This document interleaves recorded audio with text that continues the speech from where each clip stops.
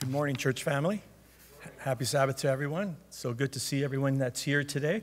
And uh, for those who are joining us via Facebook Live we, and watching us uh, uh, from home, just uh, want to welcome you uh, today on this uh, beautiful Sabbath day. I noticed, I don't know if you noticed, but the temperature at night is getting a little bit cooler, a little bit cooler. So that's kind of that's kind of nice. So I'm looking forward looking forward to that. Um, just a couple of very quick announcements. Uh, we have a board meeting uh, this week that's coming up, so just uh, um, make uh, uh, if you're a board member to uh, mark your calendars for September 15th at 6 p.m. So it's a different day. It's not on Thursdays, so make sure that you um, be mindful of that. So um, that's it for the announcements. Um, just want to welcome everyone here today and just good to, good to see everyone. So let us have a word of prayer as we get uh, started. Uh, Father in heaven, uh, we come to your presence, uh, inviting your Holy Spirit to be with us, to guide us, and to uh, shine your light upon us, Lord, as we uh, have and spend time with you, worshiping you and adoring you, and giving you thanks for the many blessings that you have bestowed us with.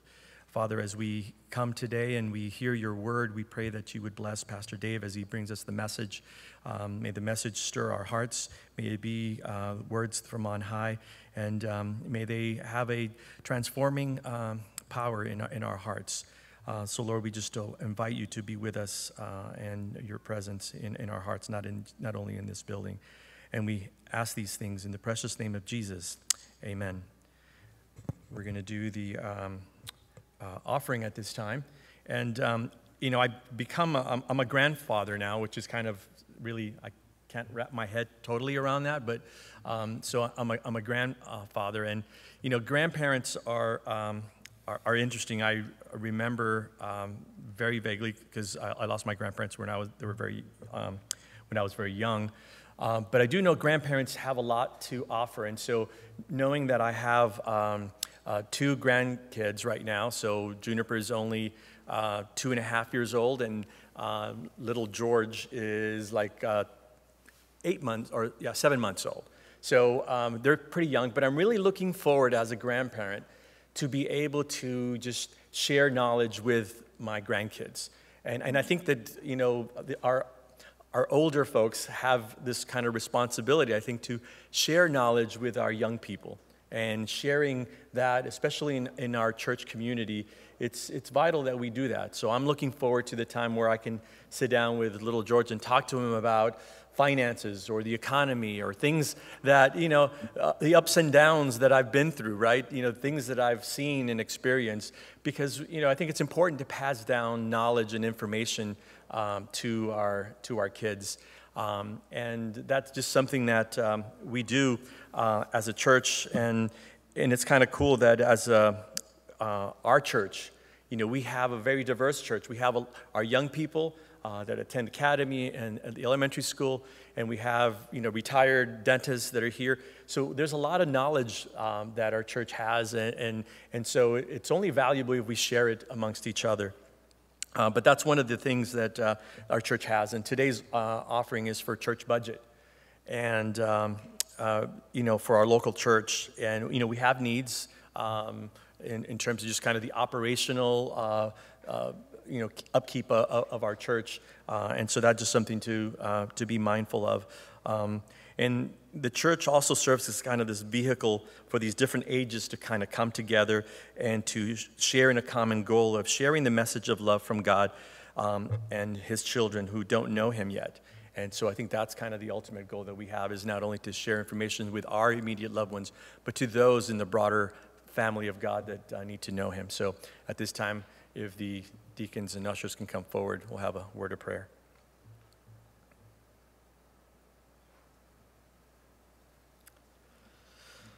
Father God, we give you thanks for uh, the gifts that you give us, um, for the uh, talents and the means that you give us to make a living.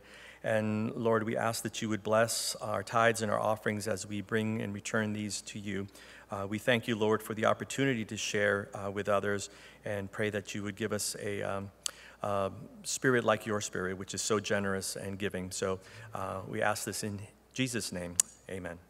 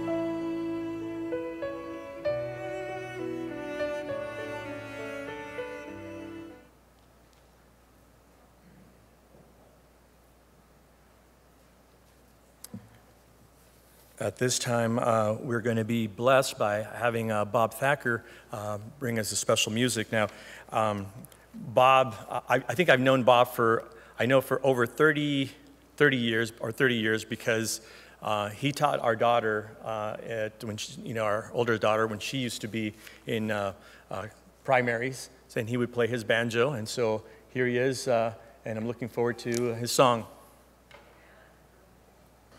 Well, I was out working Thursday. I do grounds work around here.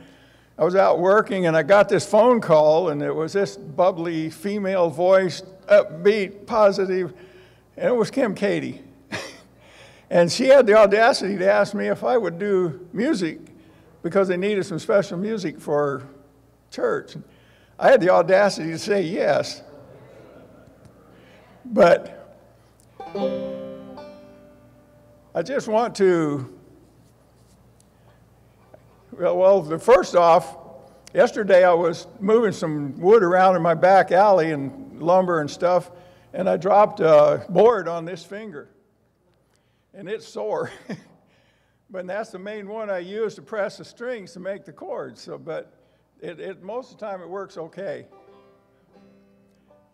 But is anybody out here that knows the price of gold? What is gold worth? Well, no, just, uh, just a normal going rate. Okay, close to two, $2,000 an ounce. That's a lot of money for just a little tablespoonful of gold, isn't it? Now, what if you had all the gold in the world? Could you buy one soul? No way. But this song mentions gold.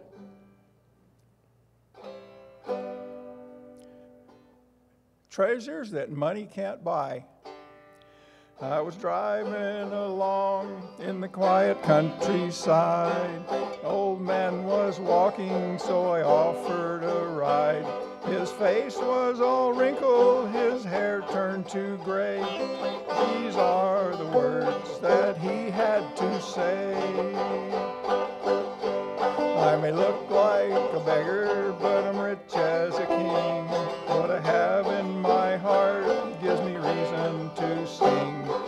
am joint heirs with Jesus, so why should I cry? These are the treasures that money can't buy. Money is worthless when a soul is at stake. If gold bought redemption, how much would much would it take? For he loved me and he saved me and he can't explain why. These are the treasures. These are the treasures that money can't buy. If you look at my clothes, they're tattered and torn. I've a new royal garment that never been worn. This cabin I live in is home till I die. I've a mansion in glory that money can't buy. Money is worthless when a soul is at stake. If gold bought redemption, how much would it take? For he loved me and he saved me, and I can't explain why. These are the treasures, these are the treasures that money can't buy. Yes, he loved me and he saved me, and I can't explain why. These are the treasures that money can't buy.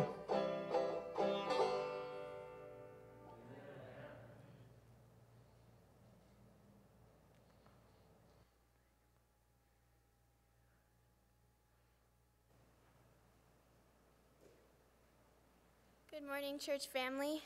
Uh, today's scripture is found in Revelation 15 3 and 4.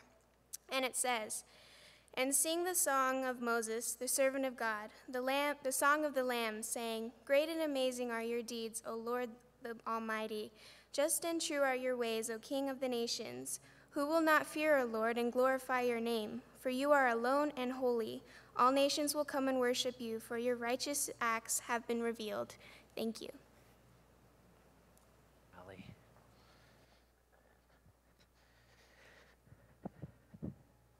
Well, good morning, church family. Once again, it's very good to be with you and a very good happy Sabbath to you. I had a chance to say hello to a few of you earlier, and uh, some have come uh, since. So um, I just want to extend my personal welcome to you also. Um, it's cooled off a little bit this week, so we're getting to experience a little bit more of, uh, of a more temperate Arizona, and we're very thankful for that. Um, and uh, hoping that those temperatures continue at least for a little while. Um, how many of you actually got cold this week? Did any of you get cold? Okay, you've been here probably a little too long if you got cold. But uh, uh, would you join me in, in bowing your heads? I'd just like to have a moment of prayer uh, before I get into my presentation. God in heaven, we just dedicate this time to you. We, we know that you've been with us from the moment uh, we've come here today. And uh, we know, Lord, that you have uh, so many things that you want to bless us with and speak to us about. So, Father, we just open our hearts to you. We acknowledge that this is a dedicated time to you and that we just love to uh, hear your spirit. So, speak, we ask, and um, we will listen. We pray in Jesus' name. Amen. So, just a couple of quick anecdotes before I begin here. Today, uh, September 12th, marks 19 years from the day that we as a nation were uh, evaluating the events of the previous day, of September 11th, uh, 2001. And uh, I just think it's worthy of noting that uh, in a time of, of great uh, commemoration and memory of an event like that, it can, it can be a healing thing for people. It can be a healing moment. And um, it can be a time to, to pull people together. And boy, if there is ever a time that we as a people, as a nation, could uh, reflect on the things that unite us more than divide us. It can uh, sometimes uh, an event like remembering September 11th uh, can have that effect. So um, I just want to acknowledge that that is a, a, very important time that we have just uh, gone through. Um, with remembering the events of September the 11th, 2001. But on a more personal note, it has a, a greater impact for my wife and I because we were also married on September 11th uh, two years before. So, yesterday we celebrated 21 years of marriage and had no idea that only a few years from then it would become a, a date of solemnity and a date of uh, sadness. Um, yet uh, we've managed to still find uh, things to celebrate on that date regardless. So, um, but there will be a table in the floor. All your gifts for our anniversary can be placed on the table. It'll be mounded by the time you leave, and that would be fine. Actually, uh, just uh, one of the things that I've really appreciated about moving to Arizona is uh, getting to know a new environment and wildlife. Um, I'm not uh, a, a, real wildlife buff or scientist or anything like that, but I do appreciate the outdoors and uh, been able to see a lot of uh, animals that I don't get to see on a regular basis and, and things like that. We've seen um, some hawks here on campus. Toby and I thought they were Harris hawks. Toby, I haven't even told you. I looked it up. They're actually Cooper hawks not Harris hawks, they're Coopers. And it's just neat to see that. And uh, all the wild parakeets, which are often noisy, but they're very colorful. But my wife and I happened to come across a bobcat also. And that was something that uh, we've never been, and we actually surprised it. It surprised us. It was probably from me to the front pew here. It's one of the things that you see, and you're not sure if you're seeing it. But I'm glad that I had a witness with me because it definitely was uh, a bobcat. And uh, just pulled out our phones real quick. But by the time we had them out, we're getting everything. It, of course, slipped into the bushes. And, uh, anyways, it's good to uh, get to know the area and environment in which you live. And uh, that was so fun, fun experience. Um, haven't seen the javelina yet. I hear there's javelina, right? And they just love big hugs, I'm told. So we'll see how that goes. Um, in some of my previous messages and in, in, some of the presentations I've made, I've emphasized, you know, how I'm trying to get to know everyone and want people to get to know me. And today I want to really focus on the one person we all need to get to know more than anything else, of course, and that's the person of Jesus Christ. And so I'm just going to get right into uh, the message today, and I begin with my kids' quiz as always. So um, I'll just begin it this way. The New Testament shows that the early church was fascinated and passionate with the reality that through the person and name of Jesus, the world would find hope. So, all I'm going to do is ask you to finish a couple Bible verses about the name of Jesus. It's really simple, and I appreciate your help. We don't have a, a huge group of, of kids here, but um, just raise your hand if you want to help me out, and I'll call on you and you shout out the answer. In Acts 2.38, Peter said to them, Repent, and each of you be this in the name of Jesus Christ for the forgiveness of your sins. Do you know what the rest of that verse is? Repent, Acts chapter 2. Do you remember the story?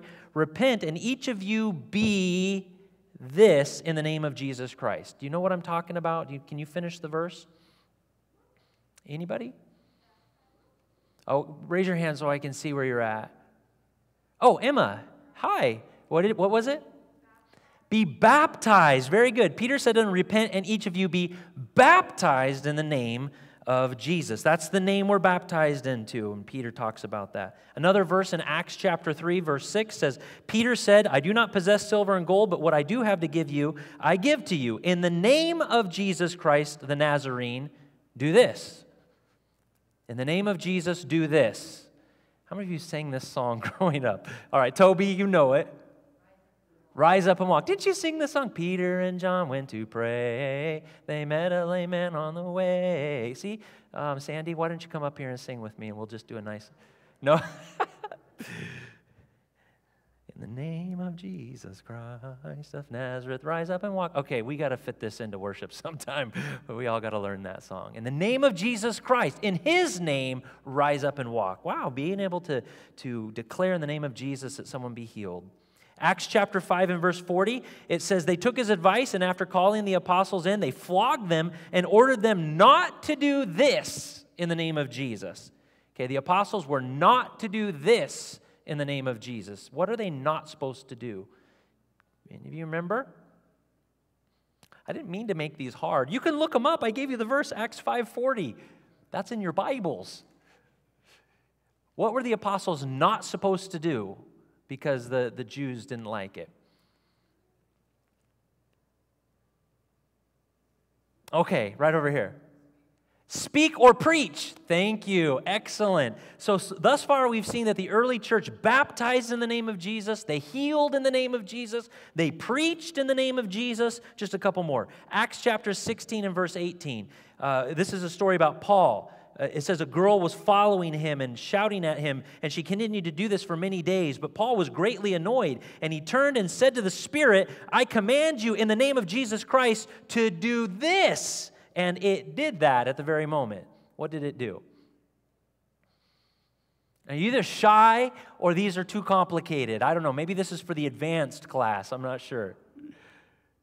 All right, Toby, you're just you're there, so we're going to give it to you to come out. That's right, come out. And it did. So, in the name of Jesus Christ, they exercise authority over evil spirits as well. Okay, last one, and then I'll uh, revise my, my kids' quizzes to be a little more uh, engaging. All right, Acts, or excuse me, Philippians 2, verses 9 through 11. Hopefully you'll recognize this verse. It says, For this reason also God highly exalted him and bestowed on him the name. Now, I just I'm emphasizing this uh, aspect of the name. The name which is above every name, so that at the name of Jesus, every this will bow, which of those are in heaven and on earth and under the earth, and at every this will confess that Jesus Christ is uh, Lord to the glory of God the Father. So, what is every this will bow? What's, the, what's going to bow?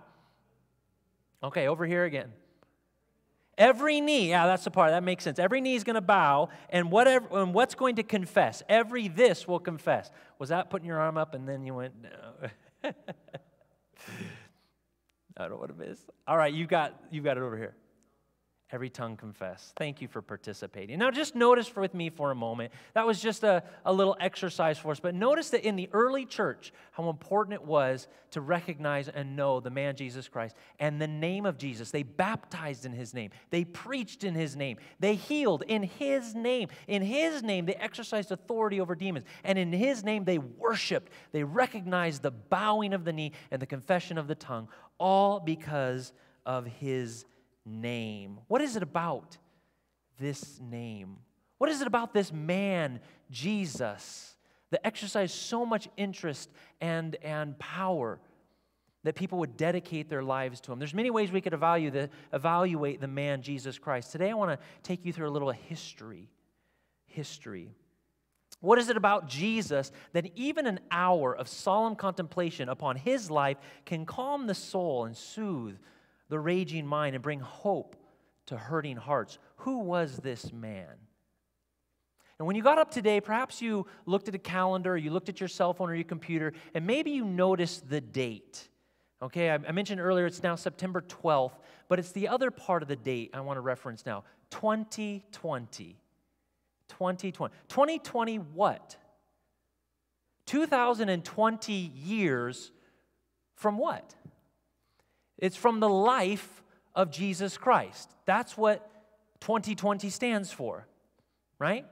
2020 years from the life of Christ. Now, uh, for many of you growing up, when I learned that BC stood for before Christ, the natural assumption was that AD stood for after death. Uh, did any of you remember thinking that?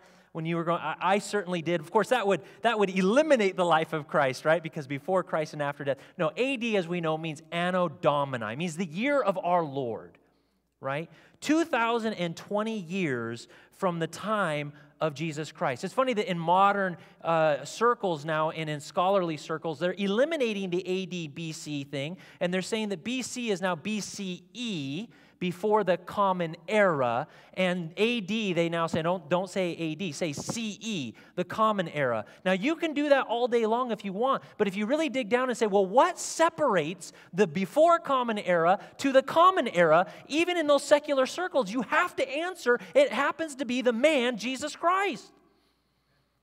He is the hinge of history. It is Jesus who divides the calendar of the past to the new calendar. In the ancient world, years were measured by the reigns of king. It was in the 15th year of Hezekiah, or in the 6th year of King David, or in the 15th year of Augustus Caesar. Everything was measured by the, the, the time of the current king. Well, that became very confusing. So by the 6th century, as the influence of the Caesars was fading and the influence of Christ was increasing, a Scythian monk named Dionysius suggested that the calendar be measured not by earthly kings kings, but by the King of kings, and it should be measured by the life of Jesus. And he called it the Anno Domini, the year of our Lord.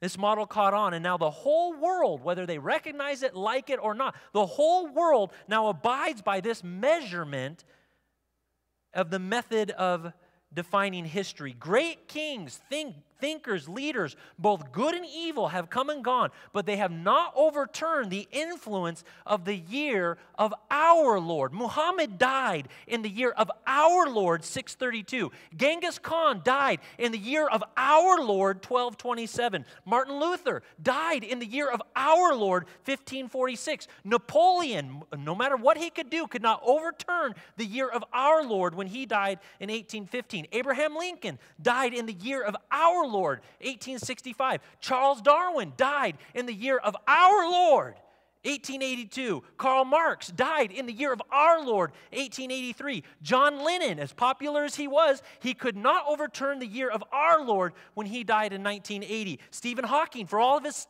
scientific wisdom and genius, died in the year of our Lord, 2018. Every time you look at a calendar and you read the date, it's the year of our Lord. Who is? Who can make the claim that they had the ability to change the calendar like Jesus Christ? These great figures who left major legacies in history, again, whether good or evil, are all measured by the life of one man, Jesus Christ. And it just begs the question who was this man? Whose birthday is the number one celebrated birthday across the entire world? Is that a trick question? Who's second? Do you even know? Nobody's second. Nobody comes close. There's only one man whose birthday is recognized virtually across the entire planet. Why is New Year's Day eight days after Christmas? Now, I know that historically Jesus was not born on December 25th, okay? We can talk more about that later. But why historically does our calendar begin January 1st, literally eight days after December 25th? Because within the Jewish culture, a child was named and dedicated eight days after their birth. So, literally, eight days after Jesus was born, his name was registered and marked in the Jewish temple. Eight days after his birth is when the name of Jesus came into our world in an official context. December 25th, 26th, 27th, 28th, 29th, 30th, 31st, January 1st. Every time the calendar rolls over, historically, the reason is because that is the date when our world celebrated the coming of Jesus into the calendar. The cross, the instrument of Christ's atoning sacrifice, is the single most recognized symbol, religious symbol in the world. It adorns more graves, decorates more jewelry, and is found in more artwork than any other symbol. Again, what's second? Nothing comes close.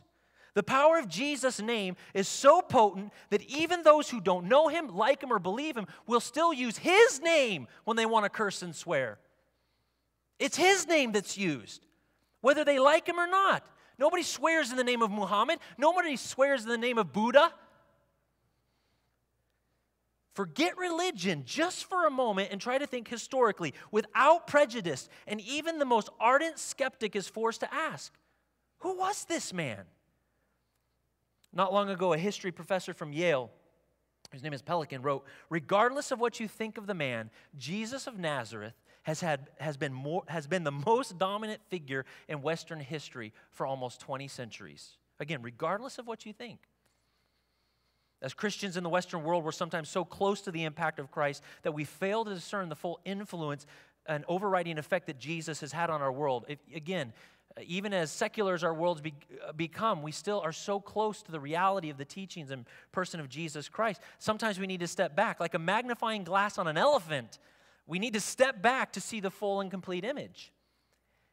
If aliens had been watching our planet in the first century and observing the ebbs and flows of the world, what are the odds that they would have picked the humble carpenter from Nazareth to have a more powerful influence than the mighty empire of Rome? Again, think about it. If you were a, a, a third party observer and you're looking down at the first century, say, well, is it going to be Caesar who's going to have a more lasting legacy, or is it this uh, carpenter named Jesus? Jesus was one Messiah among many in the world at the time. He had no pedigree, no college education, wrote no books, held no office, commanded no military, military and was not well traveled. His followers were totally unimportant, mostly uneducated, terribly uh, ordinary, and laughably small. And yet today, 2,000 years later, we name our children Peter, James, and Mary, and we name our dogs Caesar, Nero, and Brutus. Who was this man? All because these disciples followed Jesus and left us an example. Jesus' impact was so obscure at the time that only one reference to his name can be found outside the Bible. By any first century writer, that is, a man by the name of Josephus. And yet today, there is no other name more spoken and recognized on planet Earth than Jesus Christ. 2,000 years later, it's impossible to think of a world without recognizing his influence. Imagine a world without the person and influence of Jesus. Imagine a world with no Jesus, no church, no Christians, no Christianity. Now, sarcastically and quite maliciously, some wish that this were so, but they are absolutely short sighted and ignorant of history and of reality. Imagine a world with no apostles and no missionaries, no Justin Martyr, no Clement of Rome, no St. Patrick or St. Francis of Assisi, no Luther, no Zwingli, no Hudson Taylor, no David Livingstone, no William Miller, no Joseph Bates, no Martin Luther King Jr., no Dietrich Bonhoeffer, no John Wycliffe, John Calvin, John Wesley, John Bunyan, John Milton, John Paul, John Huss, or John Knox. Now, whether you recognize these names or not, as you sit here today, you are a beneficial recipient, at least in some way, of each of their expressions of Christ and Christianity. And our world would be greatly different without them, do- without them dedicating their lives to this one man, Jesus Christ. The Christian church is different than all other social structures in the world. It is a revolutionary idea and it was a revolutionary idea when it began. In the ancient world, there were families, there were tribes, there were nations, there were language groups, ethnic groups, social groups. There were work guilds and labor unions and schools of philosophy. There were tribal religions, local gods, and, fi- and family idols. But nothing like the church had ever existed before, even in Israel. No one really knew what to do with the church when it started. It didn't have a name or designation. They were simply called the followers of the Christ and eventually Christians. The church is a body of people who believed, the church was a body of people who believed that God loved everyone equally. And again, this was radical to the ancient world. This was not taught. In Colossians chapter 3, Paul would write that in the church, there is no distinction between Greek and Jew, the circumcised and the uncircumcised, the barbarian and the Scythian. Scythian was just like another way of saying barbarian. They were the horse people that would ride in wild and, and uncivilized. The barbarian, he says, there's no distinction. Greek, Jew, barbarian, Scythian, slave and freeman. But Christ is all and in all. This, this was, nobody had ever taught this before. So, as those who've been chosen of God, holy and beloved, put on a heart of compassion, kindness, humility, gentleness, and patience. No matter what your ethnicity, no matter what your economics, no matter what your background, when you're in the church, there's no distinction.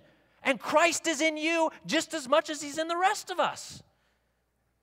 In what other social structure in the world do we see this principle more greatly displayed than in the church? Where before the church was there ever a moment that actively sought the inclusion of all genders, all classes, all nationalities, all languages, all people? Where? Where? Before the church, not only was there not a movement like this, there wasn't even an idea like this. An idea that taught that all were created equal, all have dignity, all deserve kindness and compassion.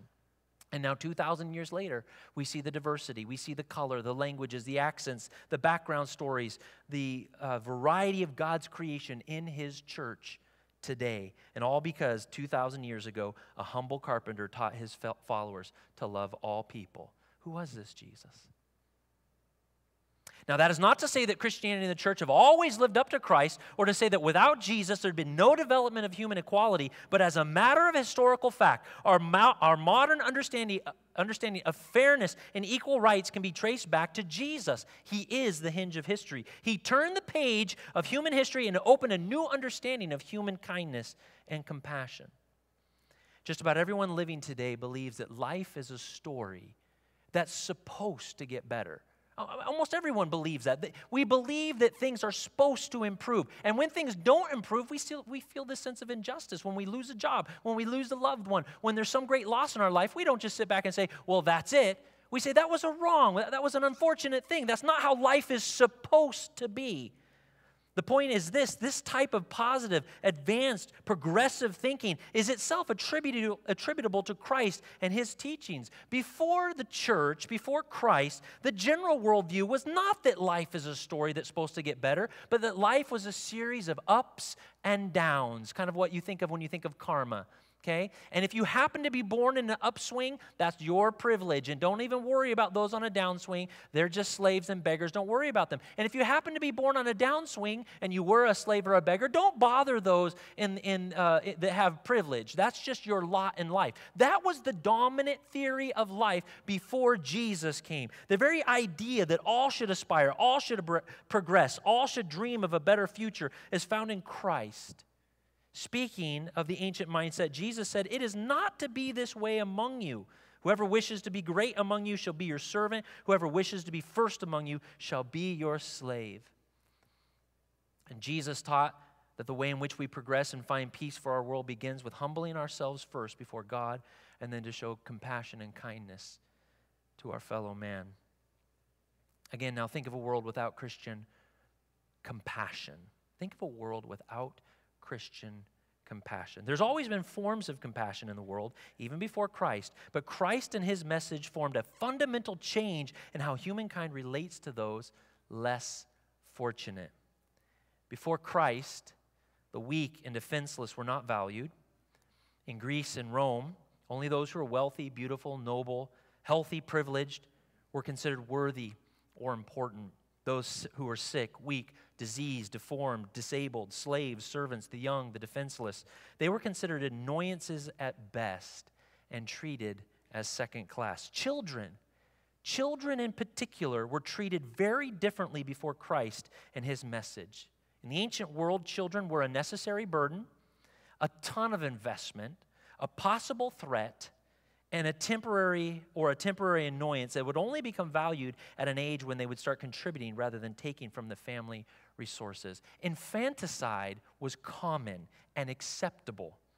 A Norwegian sociologist wrote an interesting book on how Christianity changed the world's view of children. The book is called this, note the title When Children Became People The Birth of Childhood in Early Christianity. In ancient Rome, if a family had a child they did not want, whether they were poor and couldn't afford it, or maybe they were rich and didn't want to divide the family wealth too, too much, or maybe the child was deformed or diseased or illegitimate, or maybe the child was an unwanted gender, they simply killed it. Now, what gender do you think was the unwanted gender of the ancient world? Female. Female. Historians estimate that for every three boys born, one girl was killed a Roman citizen in 1 BC, right about the time Christ is born, right? In 1 BC, a Roman citizen wrote to his pregnant sister and said this If you have a boy, let it live, but if it's a girl, expose it, which was a way of saying kill it. The first century Roman philosopher, first century, right? Roman philosopher Seneca, he wrote these words Mad dogs we knock on the head, a fierce and savage ox we slay, sickly sheep we put to the knife to keep them from infecting the flock, unnatural progeny we destroy. We drown even children who at birth are weakly and abnormal. Yet it is not anger, but reason that separates the harmful from the sound. It was all very reasonable in the ancient world to make an arbitrary decision about whether your child lived or died. Nothing, nothing uh, that would be shocking. That is until Jesus came along and said, Let the little children come to me and do not forbid them. And have you ever wondered why the Bible says he took even the infants? There's emphasis in that. The Bible says he took even the infants in his arms and blessed them. I always wondered what, what was remarkable about Jesus. I mean, that's a wonderful thing, right? Until you realize that in the ancient world, the infants were not valued. And for Jesus to take even the infants was a radical thing for any rabbi or Messiah to say, no, this child has value. And then he shocked the world. He shocked his followers when he said, unless you become, unless you are converted and become like a little child, you cannot enter the kingdom of heaven. The ancient world simply did not think like this. And by the way, that ancient mindset is growing in our world today. Now, Jewish law demanded for care of orphans, but very little was done or organized to realize this command. But the church would eventually get the picture, and the church would begin to take in the unwanted children and start orphanages. Now, just think to your history. In the ancient world, when someone had an unwanted child or, and, and they weren't willing to kill it, where did they take it? Did they take it to the governor's palaces? Did they take it to the police? Did they take it to the schools of philosophy? Where did they take the unwanted children? They took them to the abbeys, the monasteries, the churches, the chapels, because it was the church that said we ought to care for everyone. In the second and third centuries after Christ, Christians by the name of Benignus of Callistus and uh, Dijon, respectively, were actually martyred. They were actually killed by their own community. Why? Because they advocated caring for deformed children that resulted from failed abortions. What they suggested was so radical, they actually paid with their lives because they said, no, we should care for these children. Widows were similarly disliked by Roman society. There was actually a punitive tax on widows who outlived their husbands. It was considered rude in the Roman world for a wife to outlive her husband. How dare you do that? You need to pay more, right? That is until the church began to take in widows and provide for them because Jesus on the cross looked at his mother and made provision for her before his death. He entrusted her to John, and the church changed how society looks at widows and women. because of Jesus. In the book, The Rise of Christianity, sociologist Rodney Stark suggests that there are two main reasons why Christianity grew so exponentially in the second and third century. Now, listen to this. Two main reasons, according to this sociologist, why Christianity grew so exponentially in the second and third century. One was the church's advocating for the fair and humane treatment of women. And second was due to two major epidemics. Okay? The church grew during epidemics in the second and third century. The first was the Antonine plague in the second century, the second was the plague of Cyprian in the third century, both believed to be measles or smallpox.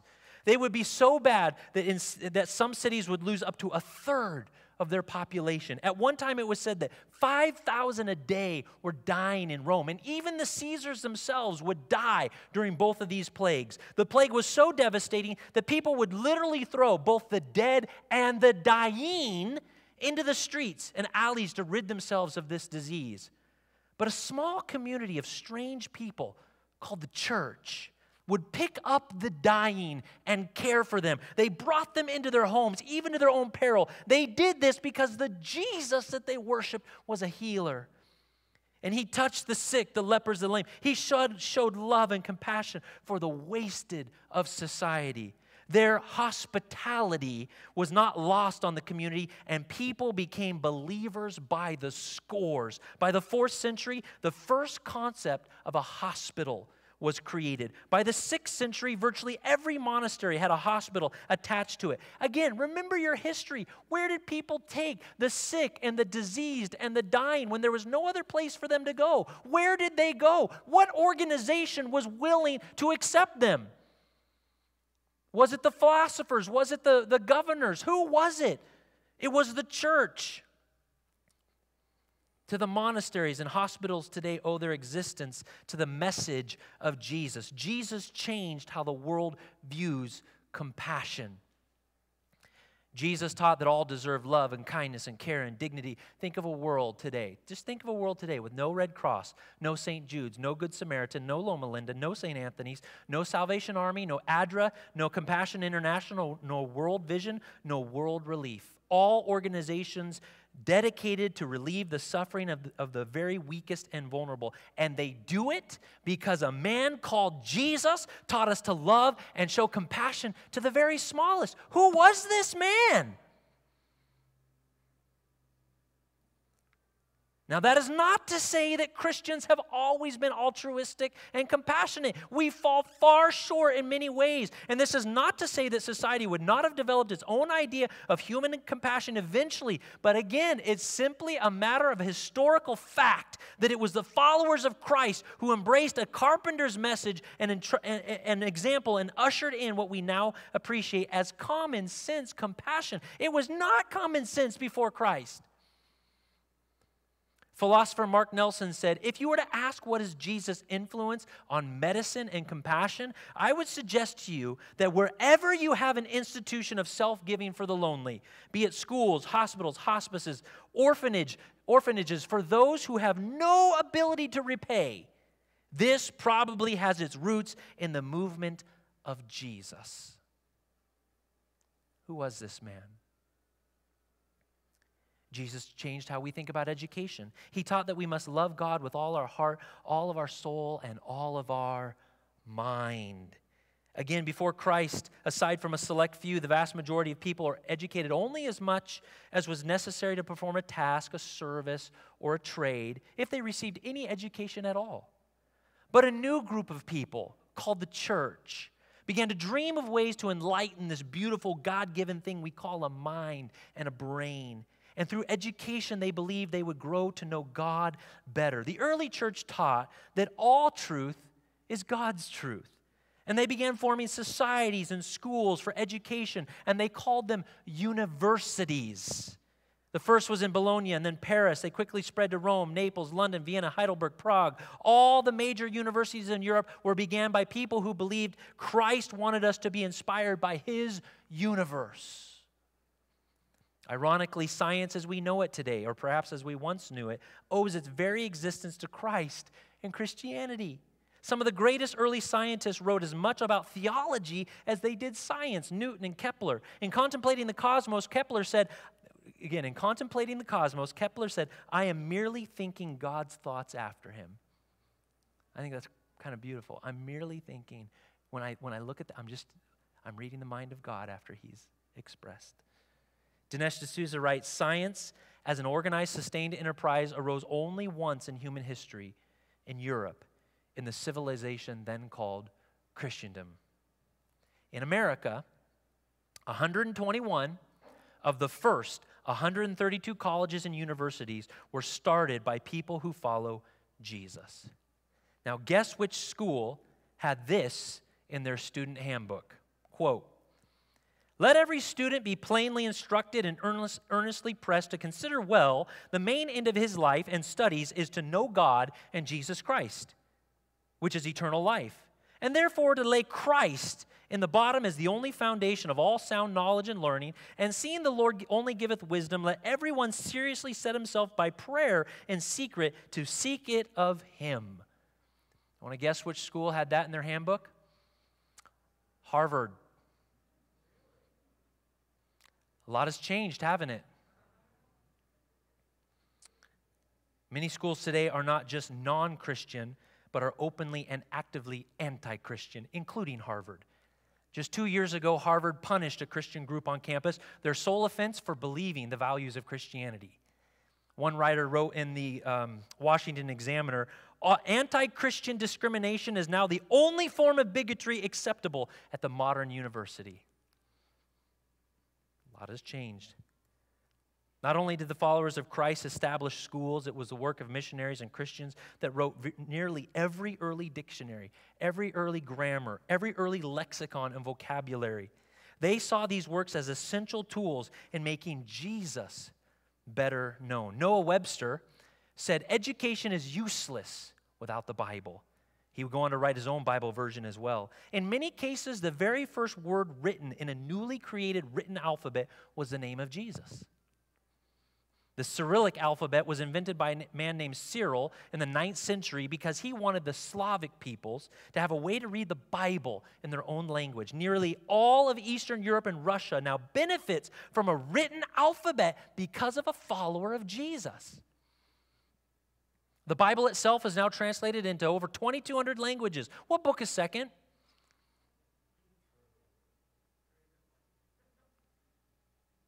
No other comes close. Even the, the second is the Tao Te Ching, but it doesn't come close. All this because of one man named Jesus. How can one man have so much of an overriding influence? Who was this man? Ellen White says, From Christ, all truth radiates. Apart from Christ, science is misleading, philosophy is foolishness. Those who are separated from the, from the Savior will advance theories which originate with the wily foe. Christ's life stands out as a contrast to all false science, all erroneous theories, and all misleading methods. Notice she says Christ's life, the very fact that he lives, stands out as a contrast. The further we get away from Christ, the more we see these ancient traditions arising in our society. And I have yet to say much about art. Think of a world with no Christian expressions in art, music, literature, architecture, no Michelangelo's David, no Sistine Chapel, no Da Vinci's Last Supper, no Brunelleschi's Dome, no Handel's Messiah, no Gates of Paradise, no Pilgrim's Progress, no Amazing Grace, no Hagia Sophia, no Angelus of Millet. I could go on for a year. Think of how Jesus changed political science and theories of human rights. Perhaps you've heard these words before. We hold these truths to be self evident that all men are created equal and have been endowed by their Creator with certain unalienable rights. These truths were certainly not self evident in the Christian, er, in the ancient world, rather. What changed? A man named Jesus Christ came along and showed us that God loves all people equally and uniquely. And his follower Paul would write that in the church, there is neither Jew nor Greek, there is neither slave nor freeman, there's neither male nor female, for you are all one in Christ Jesus.